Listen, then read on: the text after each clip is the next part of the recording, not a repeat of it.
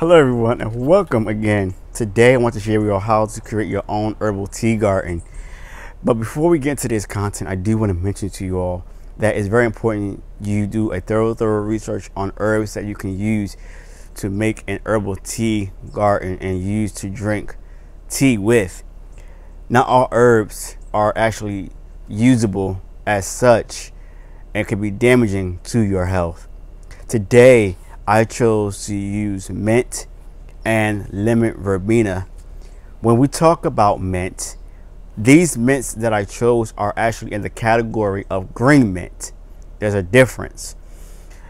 In that category, you will have spearmint. Spearmint is used so in so many different ways in our in the culinary industry in the kitchen. It is used in savory cuisine in different nationalities and then it's also used in a bake shop industry where or pastry industry where they use it in ice cream they use it in chocolates they use it uh, as a garnish. And so you will see spearmint almost in everything when it comes to the kitchen and also can use be used as a tea. That goes with along with flavoring mints. And these can be pineapple say a pineapple mint what I have here that I prune back heavy that I already have used. And then also orange mint chocolate mint. And then this new one for me is called ginger mint. I never have seen this before. And so I said I had to get my hands on it. And the reason why I chose pineapple mint was because I love their variegated leaves. That's what got my attention. I already have used this guy so it looked kind of hit and this actually been sitting in my possession for about three weeks now not being not potted up at all. So today i want to share with you how you can do this. And then we also have lemon verbena. And lemon verbena is actually in the verbena family but this lemon verbena is actually can be used for a tea. Lemon verbena uh, has great health benefits when it comes to inflammation. Um, if you have an ulcer stomach and it causes you to uh, and you have like sorry i'm gonna say this diarrhea it will actually help to ease that pain and also help with um, insomnia. However you still have to be careful with a lemon verbena because it will cause some side effects to your health. So they suggest you only take at least two or three leaves when using this uh, medicinal herb these mints are considered again green mint. And when you look at these mints, these flavoring mints are actually subtle in their fragrance. They're not as strong as their their their mother, which is the peppermint. Peppermint is actually a stronger mint that is considered a black mint.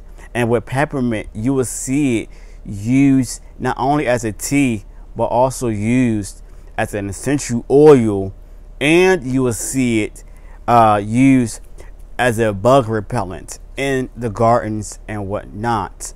You'll also see peppermint being used in other ways that I will explain at another time because I'm actually going to add peppermint to this container at a later time. So today, what I want to do for you is actually go ahead and pot this up in their new homes and these in our growing zone will grow back because they are considered perennial.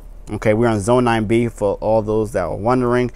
And it's very important when you're growing anything in the mint family, such as uh, mint, peppermint, and lemon balm, that is not in on my uh, bucket list that I have already grown already. it's basically um, a, a weed can be uh, can be grown like a vigorous weed, especially in the ground if the if it touches any of the soil it will actually start to create roots and it will take over your garden. So it is very important very very important that you take the the liberty of actually planting all things mint in a container instead of in the ground. But it's really up to you on what you want to do. As you can see, our herbal tea garden is actually, to me, is incomplete for our family's garden because what I want to do is still add at least two to three more uh, mints in this container, such as chocolate mint and peppermint, and we may replace this pineapple mint here as well because it's looking type leggy. One thing you should know is that uh, in the fall and winter, mint has a tendency to like die back a little bit. So I really don't want to spend money on replacing this one yet because it still it still should have a it still can have a chance of you know growing back. We will see. But what I added into the soil to complete it is uh mycorrhizae and also a little bit of chicken manure and uh, topped it off with a little bit of uh, potting soil and so I didn't want my containers to be all the way full to the top with soil right now. Um, you don't have to do that. You can leave it just like it is and it'll be fine because this is a large container. All right. And so I am going to finish this off at another time. But for now, we're going to leave this alone, let it be. And I'm going to um, water it in and keep it moving, guys. I'm NJ Cali. Thank you all for watching. Please like, share, and make sure you hit that notification bell and subscribe and become a part of our YouTube family. Peace.